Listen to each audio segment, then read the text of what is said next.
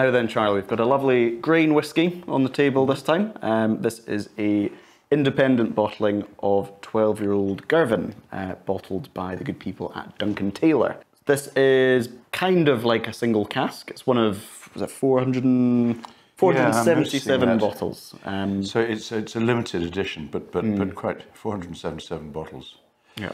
It's odd that it, it doesn't say single cask, so it may be a, it may be a couple of um, hogsheads yeah, put kind of together. together potentially. But um, grain whiskey, you know, as, as you well know, is produced in huge, huge quantities.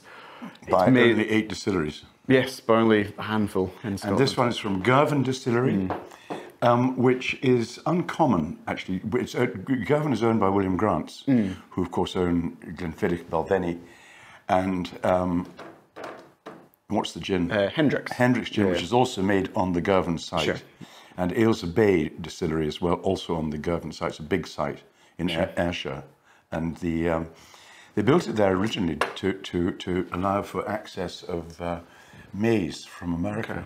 Um, it's, it's not far from, from, not far from well the, the, the port of Girvan. Sure. They may have used maize at one at some stage, but they gen- generally use wheat like the other other grain, Mm. Yeah. grain distilleries. I think it is quite unusual to, maybe it's a sign of the times that grain whiskey is becoming more sought after, more accepted for it to be bottled just purely as as a single grain. Yeah, um, yeah, I yeah. imagine 99.9% of grain whiskey that's produced will go into, to blends. blends. to, you know, provide that, that blank canvas for Yeah. Johnnie Walker, Yeah. Ballantine, Chivas, whatever it may be. Yeah, Um, yeah, that's so.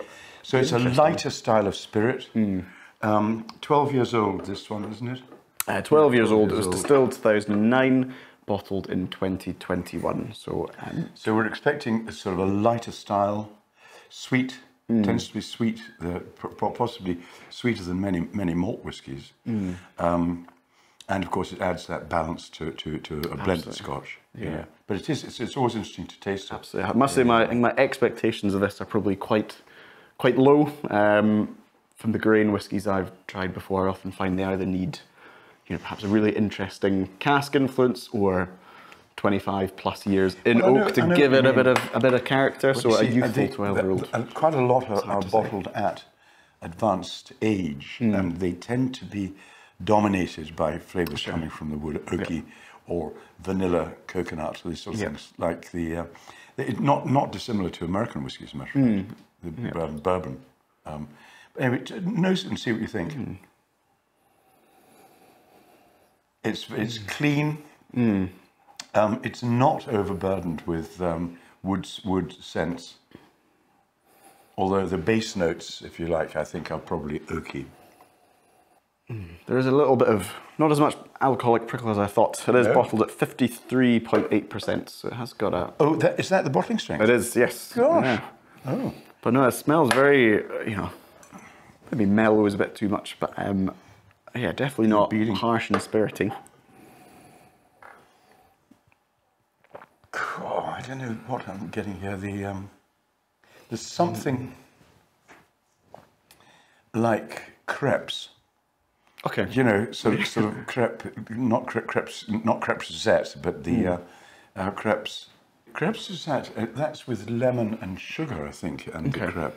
And now I've said it, the the I'm I'm imagining what we're talking about recently. The the fant, fant the fantasy fantasy smells. Yeah, phantosmia. Fant, phantosmia. Phant- yeah, yeah, yeah. The- yeah. yeah, when you're basically influenced by somebody and you get, get things in your head. You- yeah, imagine things that aren't imagine, there. Imagine smells. Yeah. Um, but no, there is a, a gentle sweetness, maybe a touch of, No, you've said lemon juice or whatever. There's a, maybe a hint of citrusiness coming Well, through, I'm- but it's I'm- I'm very, stick with that. I think Yeah. it's, it's, rather attractive. It's, it's, um, yeah, it's a good, good tasting. I'll, I'll seal that for, for another time.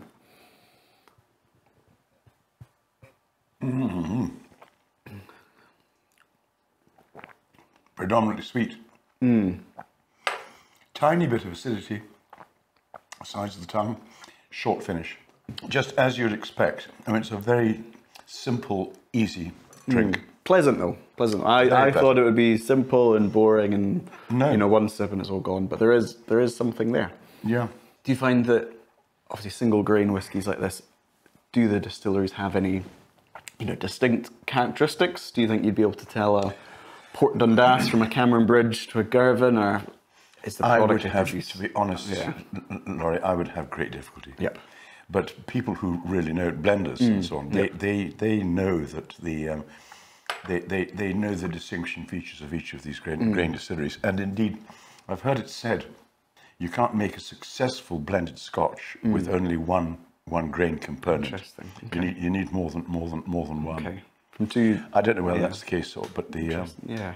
No, I've been. It's been interesting looking at kind of the recipes of some blended whiskies, and you'd assume that they would have like a set, you know, set list of you know we always use fifty percent Cameron Bridge or whatever. But Yeah.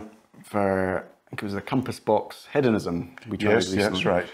Often they use you know predominantly Girvan, but then the next batch might be predominantly Oh, really? Strathclyde Yes, or right. predominantly something else. So Yeah, yeah. I think obviously blenders know know what they're doing. Yeah, They start with the flavour they need to create and almost work work backwards. Yeah. So I imagine grain whiskies are flexible enough that you can influence them with And cask type or aging yeah, to yeah, sort of mix and match if needs be. Um, but no, this is a, a very, very pleasant drop. Um, this one, as we say, is an independent bottling. Um, so the cask has been purchased by Duncan Taylor and bottled. Duncan Taylor's been around for a long time. 1938, I think, the company was founded. So they've got, or they certainly had, presumably they're renewing stocks all the mm. time, but they had they had a huge stock of uh, of old whiskies, mm. and the, which they release from time to time. Yeah. And now I'm suddenly thinking of cappuccino coffee for some mm. reason. or other. Do you feel the future of grain whiskey is, is bright? Do you feel more and more people are appreciating appreciating the differences and the subtleties in there, or has it still got a long way to go? I don't think that single grain will threaten single malt nor blended Scotch. Okay. And the industry is quite concerned about blended Scotch whisky because the it's not getting it's, it's considered wrongly, and you'll Hmm. agree, I'm sure, to be the poor relation of Yeah. uh, single malt.